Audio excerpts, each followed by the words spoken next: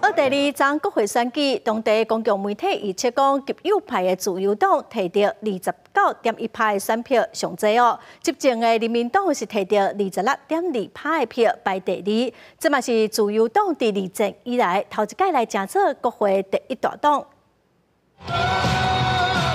支持民众正欢喜，伫咧庆祝胜选。奥地利自由党的领导人基克尔今日会场时阵，正主也正激动，因为伫二九月国会选举，自由党摕到二十九点一派的选票，比二零一九年嘅选举增加十三个百分点，是历次世界大战了后第一遍正做国会第一大党。berühmten 26,9 Prozent des Jörg Haider. Ich glaube, er verzeiht uns. Wir haben österreichische Geschichte geschrieben, weil es das erste Mal der Fall ist, dass die Freiheitliche Partei bei einer Nationalratswahl die Nummer eins ist. Und ihr müsst euch nur vergegenwärtigen, woher wir gekommen sind. 自由党的背景是欧洲激进政党起来，由前纳粹分子所创立的极右政党。这是领导人基克尔伊的立场正极端。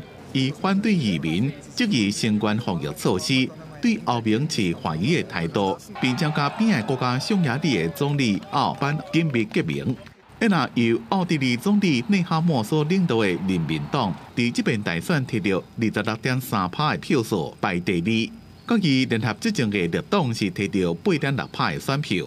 内哈默对极右派政党的票超过因，感觉真遗憾，也强调未将自由党做联合政府。